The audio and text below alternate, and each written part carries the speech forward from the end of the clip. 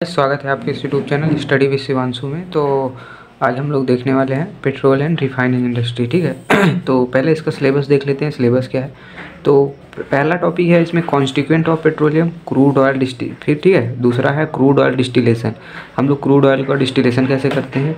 इसके दो मेथड इसमें दिया है हमको पढ़ना है, जो atmospheric distillation and vacuum distillation तो ये दो हमको डिस्टिलेशन पढ़ना होगा कि कैसे डिस्टिल होते हैं। और इसमें पढ़ना है pollution amendment in petroleum refining plant तो ये इसमें काफ़ी छोटा है, जो सिलेबस में। तो हम लोग यही के हिसाब से पढ़ेंगे। तो इसमें क्या है कॉन्स्टिक्वेंट ऑफ़ पेट्रोलियम पढ़ना है और एटमॉस्फेरिक डिस्टिलेशन पढ़ना है वैक्यूम डिस्टिलेशन पढ़ना है और पोल्यूशन अमेंडमेंट पढ़ना है। तो आइए शुरू करते हैं वीडियो को वीडियो को। तो सिलेबस भी हम लोग ने देख लिया क्या क्या सिलेबस में है। तो सिलेबस के हिसाब से ही हम लोग पढ़ेंगे तो देखते हैं पेट्रोलियम पेट्रोल रिफाइनिंग इंडस्ट्री को पढ़ते हैं। ठीक है तो पहले इंट्रोडक्शन में देख लेते हैं। In the ground of earth many types of thing founds and special things are found मतलब कि अर्थ के ग्राउंड पे कई तरह कई तरीके की चीज़ें पाई जाती हैं स्पेशल चीज़ें पाई जाती हैं, जो कि in the between of two rocks मतलब कि दो पत्थरों के बीच में होता है। और वो स्मेल करता है ब्लैक कलर होता है विस्कस होता है और ब्राइट होता है, ठीक है? तो इसका क्वालिटी क्या होता है? स्मेलिंग होती स्मेलिंग होती है ब्लैक कलर की होती है विस्कस होती है और ब्राइट होती है, चमकीली होती है। तो इसको हम लोग जो स्मेल करे ब्लैक कलर हो विस्कस हो और ब्राइट करे तो उसको हम लोग क्या कहेंगे? क्रूड ऑयल करेंगे। क्या कहेंगे? क्रूड ऑयल कहेंगे। ठीक है?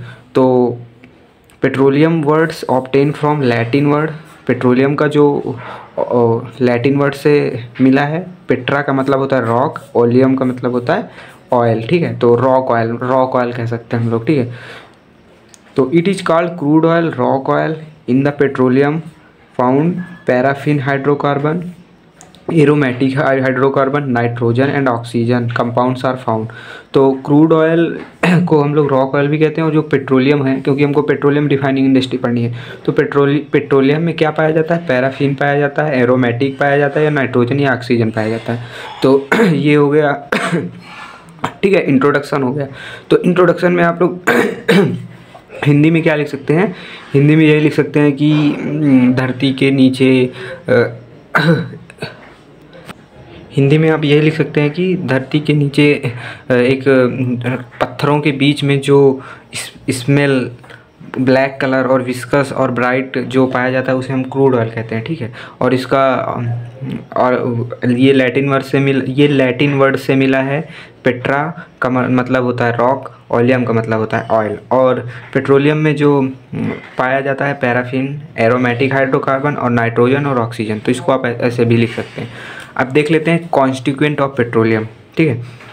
कॉन्स्टिक्यूंट ऑफ़ पेट्रोलियम ठीक है? तो पहला देख लेते हैं petroleum is the mixture of hydrocarbon mainly found in para paraffin carbon ठीक है? तो अभी मैंने बताया ना पेट्रो, पेट्रोलियम क्या है? पेट्रोलियम एक मिक्सचर है हाइड्रोकार्बन का जिसमें कि मेनली पैराफिन हाइड्रोकार्बन पाया जाता है ठीक है? अब crude oil found hydrocarbon add it sand water oxygen nitrogen with organic compound तो क्रूड ऑयल क्रूड पेट्रोलियम में क्या होता है? हाइड्रोकार्बन uh, होता है जिसमें कि सैंड वाटर ऑक्सीजन नाइट्रोजन के साथ ऑर्गेनिक कंपाउंड भी होते हैं, जिसको हम लोग रिफाइन करते हैं। ठीक है? We can say that petroleum is established from plant trees because in the plant has nitrogen ठीक है? तो हम ये भी कह सकते हैं कि पेट्रोलियम जो होता है वो कहाँ से बनता है? तो कहाँ से बनता है? वो प्लांट से बनता है ट्रीज से बनता है, क्योंकि प्लांट और ट्रीज में नाइट्रोजन होता है, ठीक है? तो और कॉन्स्टिक्वेंट लिखने के लिए हम लोग इसको टॉपिक वाइज भी लिख सकते हैं। इट्स कॉन्स्टिक्वेंट मतलब कि सीएनजी के बारे में लिख सकते हैं। सीएनजी क्या होता है? सीएनजी गैस होता है। इट इज़ यूज्ड इसको हम घर में फ्यूल के तरीके से यूज़ करते हैं। और डीजल का भी इस तरह लिख सकते हैं। पेट्रोल का भी लिख सकते हैं। केरोसिन का भी लिख सकते हैं। तो इसको हम लोग टॉपिक बना के लिख सकते हैं। कॉन्स्टिक्वेंट ऑफ़ पेट्रोलियम में, ठीक है? तो इसको मैंने लिखा नहीं है। बस लिख दिया है कि it's constituent in many ways CNG diesel petrol kerosene ETC तो इसको आप टॉपिक बना के लिख भी सकते हैं। ठीक है? तो कॉन्स्टिक्वेंट ऑफ़ पेट्रोलियम यहीं पर ख़त्म होता है। अभी नेक्स्ट टॉपिक देखते हैं। तो पहले हम लोग डिस्टिलेशन देखने से पहले क्रूड ऑयल डिस्टिलेशन देखने से पहले हम लोग ये जान लेते हैं कि रिफ़ाइन कैसे होता है। तो रिफ़ाइन कैसे होता है? रिफ़ाइन होता है फ्रिक्शनल डिस्टिलेशन से, ठीक है? तो हम लोग बोल सकते हैं जो पेट्रोल रिफ़ाइन होता है वो फ्रिक्शनल डिस्टिलेशन से होता है। तो पहले इसका समझ लेते हैं कैसे डिस्टि रिफ़ाइन होता है। तो जो पिच होता है पिच पिच जानते होंगे क्रूड ऑयल से भी होता है। तो पिच को हम लोग डालते हैं डिस्टिलेशन कॉलम में, ठीक है? डिस्टिलेशन कॉलम में पिच को हम लोग जब डालेंगे तो इवापरेटर लगा होता है इवापरेटर लगा होता है तो इवापरेटर से हम लोग इवापरेट करते हैं और पेट्रोलियम को ऊपर से मतलब कि यहाँ से एक कॉलम लगा होता है पेट्रोलियम को हम लोग यहाँ से निकाल लेते हैं, ठीक है? पेट्रोलियम निकालने के बाद हम लोग जो वेपर बचते हैं वेपर को हम लोग दूसरे एक टैंक में लाते हैं टैंक में लाने के बाद उसको हम लोग रिफ़ाइन करते हैं जो मतलब कि डिस्टिलेशन करते हैं। डिस्टिलेशन का मतलब क्या होता है कि उसका बॉइलिंग पॉइंट जो होता है, उसको हम लोग प्रेशर से एटमॉस्फेरिक प्रेशर से या वैक्यूम प्रेशर से उसको हम लोग कम कर दें बॉइलिंग पॉइंट को। और बॉइलिंग पॉइंट को कम कर दें तो वही होता है बॉइलिंग पॉइंट कम करके उसको हम लोग बॉयल करते हैं।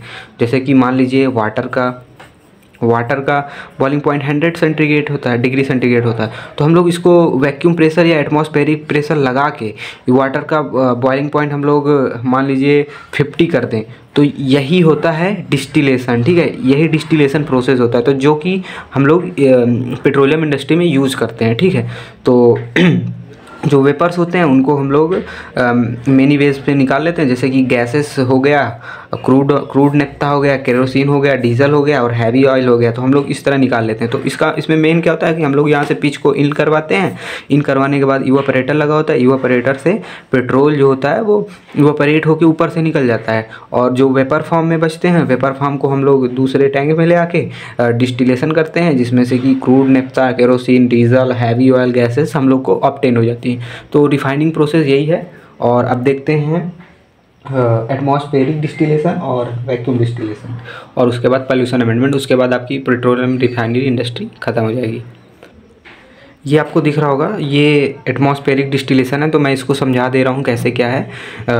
इसको मैं इस फिगर को मैं समझा दे रहा हूँ, बाकी अपना प्रोसेस डिस्क्रिप्शन आप लोग अपने से लिख लीजिएगा, ठीक है? तो क्या होता है पहले जान लीजिए डिस्टिलेशन वही होता है कि बॉइलिंग पॉइंट को कम कर देते हैं हम लोग और बॉइलिंग पॉइंट कम करके उसको हम बॉयल करते हैं तो वही डिस्टिलेशन हो गया, ठीक है? तो पहले क्या करते हैं, हम लोग क्रूड ऑयल लेते हैं। क्रूड ऑयल लिए, क्रूड ऑयल को हम लोग फर्नेस में ले गए। फर्नेस में हम लोग गर्म करते हैं। गर्म करने के बाद उसको डिस्टिलेशन कॉलम में लाते हैं। वही डिस्टिलेशन कॉलम में लाएँगे और इसमें क्या होगा कि हम लोग को प्रेशर चाहिए। प्रेशर से हम लोग बॉइलिंग पॉइंट कम कर पाएँगे। तो इसमें क्या होता है कि हम लोग प्रेशर को नहीं यूज़ करते। इसमें हम लोग एटमॉस्फेरिक मतलब वैक्यूम प्रेशर को नहीं यूज़ करते। हैं हम लोग इसमें जो इन्वायरमेंट में एटमॉस्फेरिक प्रेशर होता है, हम लोग उसका यूज़ करते हैं। ठीक है? तो एटमॉस्फेरिक डिस्टिलेशन यूनिट में हम लोग एटमॉस्फेरिक प्रेशर को यूज़ करके हम लोग डिस्टिलेशन कॉलम डिस्टिल पेट्रोल को डिस्टिल करेंगे, ठीक है? तो इसको आप लोग याद रखिएगा कि एटमॉस्फेरिक डिस्टिलेशन कॉलम में क्या होगा कि हम लोग एटमॉस्फेरिक प्रेशर का यूज़ करके डिस्टिलेशन करेंगे, ठीक है? तो क्रूड ऑयल को लिए क्रूड ऑयल को हम लोग फर्नेस में गर्म किए, गर्म करने के बाद उसको हम लोग डिस्टिलेशन कॉलम में लाए डिस्टिल किए डिस्टिल करने में हमको गैस मिलती है, जो इसको आपको याद करना है, गैस मिलती है 20 से 35 सेंटीग्रेड पे मतलब कि हम हम गर्म करेंगे, उसके बाद यहाँ पे आएगा तो डिस्टिलेशन होगा तो डिस्टिलेशन जब होगा 20 से 35 डिग्री पे हमको गैस मिलेगी। नेफ्ता मिलेगा 40 से 70 डिग्री पे, गैसोलीन मिलेगा 70 से 180 सेंटीग्रेड पे, केरोसिन मिलेगा 170 से 180 डीजल मिलेगा भी वही 170 से 180 और फ्लूड ऑयल फ्लूड ऑयल जो मिलेगा वो 400 सेंटीग्रेड के इक्वल या उससे ऊपर मिलेगा। ऐसी, इसी तरह रेसिड्यू ऑयल जो होगा वो भी 400 से ऊपर या 400 के बराबर मिलेगा। जो रेसिड्यू ऑयल होता है हम लोग, उसको फिर से यहीं पे ले आते हैं और फिर से उसको डिस्टिलेशन करते हैं, ठीक है? और ऊपर से हम लोग गैस को जितनी भी तरीके की ये गैस होती है, गैस को हम गैस सेपरेटर से निकाल के गैस निकाल लेते हैं और उसके नीचे जो होता है गैसोलिन निकाल लेते हैं। तो ठीक है, ये एटमॉस्फेरिक डिस्टिलेशन कॉलम हो गया और इसमें हम लोग एटमॉस्फेरिक प्रेशर का यूज़ करके डिस्टिलेशन करते हैं, ठीक है? तो ये हो गया प्रोसेस डिस्क्रिप्शन आप लोग देख लीजिए। एक बार पढ़ लीजिएगा। बाकी अगर आपने इसको समझ लिया सही से तो आराम से आप लोग कर सकते हैं। लिख सकते हैं। अभी वैक्यूम डिस्टिलेशन कॉलम देख लेते हैं। वैक्यूम डिस्टिलेशन कॉलम में क्या है? तो इसमें वैक्यूम डिस्टिलेशन कॉलम में क्या है कि इसमें जो रेसिड्यू ऑयल निकलता है ना जो रेसिड्यू ऑयल निकलता है एटमॉस्फेरिक डिस्टिलेशन कॉलम से हम उसी का यूज़ करके उसी को यूज़ करके हम लोग इसमें से आ, डिस्टिलेशन करते हैं। तो वैक्यूम डिस्टिलेशन में क्या होता है कि एटमॉस्फेरिक डिस्टिल एटमॉस्फेरिक प्रेशर का नहीं यूज़ करते हम लोग, इसमें से प्रेशर देते हैं। किसके थ्रू देते हैं? इजेक्टर के थ्रू ये जो इजेक्टर लगा होता है, ये वैक्यूम प्रेशर को जनरेट करता है। तो इजेक्टर इसमें मेन होगा, क्योंकि यही वैक्यूम प्रेशर वैक्यूम प्रेशर बनाएगा, तभी इसमें देगा, क्योंकि एटमॉस्फेरिक प्रेशर इसमें यूज़ नहीं होगा, इसीलिए इसको वैक्यूम डिस्टिलेशन कहा जाता है। तो हम लोग यहाँ से रेसिड्यू ऑयल लेंगे रेसिड्यू ऑयल को हम लोग प्री हीट करेंगे चार साढ़े चार सौ से पाँच सौ सेंटीग्रेड पे ठीक है? तो हम लोग इसको साढ़े चार सौ से पाँच सौ सेंटीग्रेड तक गर्म करेंगे उसके बाद हम लोग वैक्यूम डिस्टिलेशन कॉलम में हम लोग इसको डाल देंगे और रिजेक्टर के थ्रू हम लोग वैक्यूम प्रेशर यहाँ पे क्रिएट करेंगे। वैक्यूम प्रेशर क्रिएट करेंगे तो इसमें दो प्रोसेस होंगे L L V G O and H V G O L V G O क्या होता है? लो वैक्यूम गैस ऑयल और एच वी जी ओ क्या होता है? हाई वैक्यूम गैस ऑयल ठीक है? तो इसमें हमको क्या होगा कि इसमें दो आ, प्रोसेस होंगे L V G O H V G O इसको याद रखिएगा, low vacuum gas oil, heavy vacuum gas oil. और एल वी जी ओ में क्या होगा? कैटेलिक क्रैक होगा। कैटेलिक क्रैक होगा तो उसमें क्या होगा? कैटेलिक क्रैक में क्या होगा कि पेट्रोल मिलेगा डीजल मिलेगा ल्यूब ऑयल मिलेगा और वैक्स मिलेगा। इतना याद रखिएगा कैटेलिक क्रैक होगा ऊपर वाले में, जिसमें कि हमको मिलेगा petroleum diesel lube oil wax ठीक है? और हैवी वैक्यूम गैस ऑयल में क्या होगा? सारे हैवी ऑयल मिलेंगे हमको। तो इसमें क्या होगा? हाइड्रो हाइड्रो क्रैकिंग होगी। हाइड्रो क्रैकिंग होगी तो हमको एसफेन मिलेगा। एसफेन का क्या होता है? सी सेवेंटी इसको याद रखिएगा। एसफेन का क्या होता है? सी सेवेंटी उसके बाद ये L V G O H V G O ये दोनों प्रोसेस हो गए। और नीचे क्या होगा? वैक्यूम रेसिड्यू मतलब इसमें से भी कुछ ना कुछ तो बाई प्रोडक्ट निकलेगा। तो बाई प्रोडक्ट क्या हो जाएगा? कोल तार यूनिट हो जाएगा विस ब्रेकिंग हो जाएगा ब्यूटमिन यूनिट हो जाएगा। तो कोल तार वही होता है ना, जो हम लोग रोड्स वगैरह बनाने के लिए यूज़ करते हैं तो वो रेसिड्यू हो जाएगा। ठीक है तो रेसिड्यू ऑयल को हम लोग यूज़ करते हैं। वैक्यूम डिस्टिलेशन में। पहले हम लोग क्रूड ऑयल लेते हैं। क्रूड ऑयल में क्रूड ऑयल को डिस्टिलेशन करते हैं तो उसमें से रेसिड्यू ऑयल निकलता है। रेसिड्यू ऑयल को हम लोग वैक्यूम डिस्टिलेशन में ले आके उसको फिर से डिस्टिलेशन करते हैं, जिसमें कि L V G O H V G O होता है, जिसमें से हम लोग फिर से पेट्रोलियम डीजल मिल जाता है और एच वी जी ओ में एसफेन मिल जाता है। उसके बाद जो इसमें से रेसिड्यू बचता है, उसको हम लोग फिर बाई प्रोडक्ट होता है, उसको हम लोग दूसरी जगह यूज़ कर लेते हैं। तो इसका ये हो जाएगा प्रोसेस डिस्क्रिप्शन देख लीजिए। तो अब पॉल्यूशन अमेंडमेंट देख लेते हैं पेट्रोलियम इंडस्ट्री में। तो इसमें पॉल्यूशन अमेंडमेंट में क्या होता है? एयर पॉल्यूशन होता है।